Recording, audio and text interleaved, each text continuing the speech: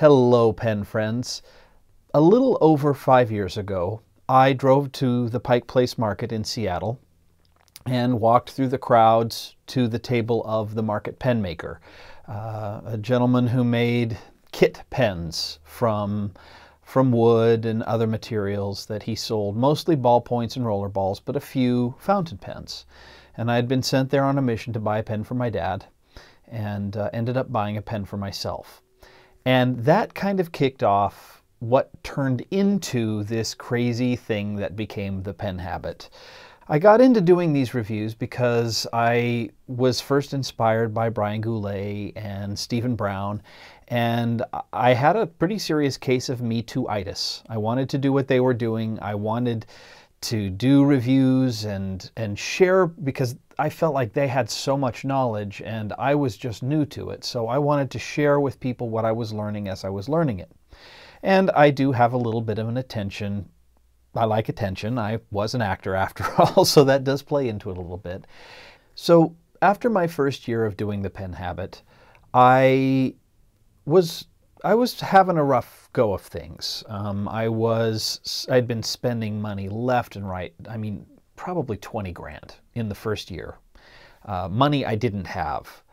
I was spending a ton of time doing videos. The video quality was okay, but I was spending tons of time doing it. I was dealing with a lot of trolls, and I had not yet developed a mechanism for dealing with that. And so it was really, really all of that together kind of said, you know what, I don't, I'm not sure I want to do this anymore. So I decided to take a break. Wasn't sure if I was going to come back or not. But thanks to some support from, especially from Stephen Brown, who has become a friend, um, I did end up coming back and was very grateful I did and have been blown away by what has happened as a result. You know, as of the last time I checked, I think I've got well over 6 million video views. 40,000 nearly subscribers. Uh, it's been a wild ride. I've done over 300 videos, written lots of blog posts and all of that stuff, attended pen shows, traveled around the country, uh, made friends from around the world. It's really been an amazing experience. Toward the end of last season, I got I kind of hit a, a, little bit of a wall and, and struggled to get things out. And I said, you know what, I'm going to take a hiatus, my, my usual summer hiatus that I take every year. And uh, when I come back, I should be energized. I'm going to go to the San Francisco show. I'm going to get, you know, I'm going to go to the Chicago show. I'm going to get some energy and, and come back and do it. And I went to those shows and had a great time. And I came back and it wasn't there anymore. Uh, I wasn't, I, this whole season has mostly been a very, very difficult struggle just forcing myself to come into the studio and sit down and do it. I'm not really acquiring things anymore. Um, I'm really not interested in reviewing anymore. I'm not interested in being critical of other people's work anymore. Um, I love my pens. I'll continue to use my pens, but I just don't see myself buying anymore. I don't need anymore. Um, I have found I don't really want anymore, and that makes doing this very difficult. So, after a lot of soul searching and a lot of thinking, um, a lot of talking with some of my, my very good friends, uh, I have decided that it's time for me to break the habit. So what does that mean for the pen habit? Um, short version is I will no longer be making videos. I probably won't be doing blog posts. Um, or if I do, I will be doing them very, very infrequently. I am, from this moment, no longer going to do any reviews. Uh, I, reviews in particular are things I do not want to do anymore. And if I do create content, it will probably be a little bit closer to the vlog style content that I used to, that I did just recently in Arkansas if I happen to attend a pen show. I won't take down the YouTube channel, but I am going to turn off comments. Um, I will also leave the Pen Habit website up and we'll turn off comments there as well. I will keep all of the Inky Fingers notebooks that still exist up on the website for as long as they exist, but when those uh, are gone, they are gone for good. I won't be bringing them back unless someone else wants to buy the line from me. And I'm going to move on to other things. For better or for worse, I feel like I've made a mark on the community. And I hope it's for the better. I have brought my background, particularly around videography and lighting and, and sound and things like that, to try to build something that was a quality I was proud of. And for the most part, I think I've done that. And I've seen other folks starting to come in and their skills are improving and the quality of their reviews are improving.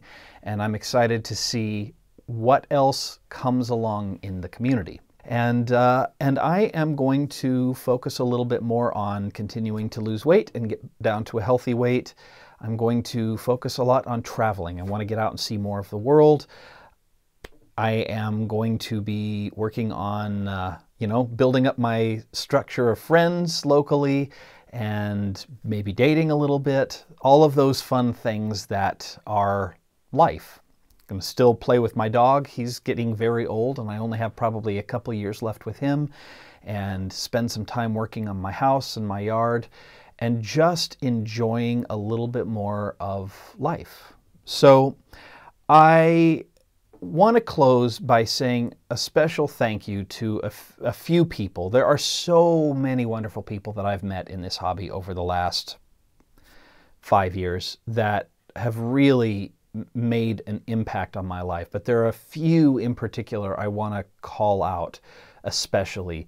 Um, to Brian Goulet and Stephen Brown and Azizah uh, from uh, Gourmet Pens, I want to say a huge, huge, huge thank you. When I was dealing with a lot of crap early on, they were wonderful supports. Both Stephen and Brian were basically my mentors in this space without their knowledge. I watched, I think, every video that both of them did to see what they knew. That's how I learned what, I, what little I knew before I was able to pick it up on my own as well. Um, so I, the pen habit could not have happened without those two. They really did lay the path. Um, I have a special group of folks that I interact with at almost every pen show that I go to that have become very close friends to me. Um, Brad Dowdy from the Pen Addict, Lisa and Mike Vanness from Vanness Pens, Ana Reinert from the Well Appointed Desk, and I met her husband Bob for the first time in Arkansas, and I like Bob a lot. So, um, and Father Kyle, those folks are some of the the best funniest, smartest, most enjoyable people I know. And they have become dear friends and uh, have also been a huge, huge support to me. And finally, I cannot possibly thank you guys out there enough for the support and the love, the financial support, the the emotional support, the comments, the questions, sharing your knowledge, encouraging me, coming up to me at pen shows. Um, so huge, huge thank you to all of you for your support. So before I close, I just want to say one kind of last thing. I know this is not the first time I have threatened to quit, although the first time was done for a very different reason, um, which was it was a combination of my overspending and the trolls. And when I decided to come back after that first season, I said something at the time that I meant, which was I was going to make it my mission to civilize the internet. Now, I realize that in a realistic world, one person sitting in his house in Western Washington can't do that. No one person can civilize the internet. But I would like to say this. This hobby in particular is special. There is something very important about this hobby and this passion. People who like this stuff like art. They like words. They like thinking. They are willing to look at life at a slower pace and observe and share and mull. And that is so deeply needed these days in our time. We need the people in this community more than we have ever needed people like us before. And whether you're on the Pen Addict Slack channel or Fountain Pen Network or the FP Geeks forums or the Facebook groups or Reddit or Instagram or YouTube comment section or wherever it is you go, please, if I could leave with any parting thought, it would be this. Please treat each other with love. This life is too short. This world is too harsh. The people in this hobby are too good, too smart, too thoughtful, and too considerate to ever do anything different. Thank you, thank you, thank you for making the pen habit possible for this last five years. And I wish you many, many, many, many more years of inky fingers. Take care. Bye.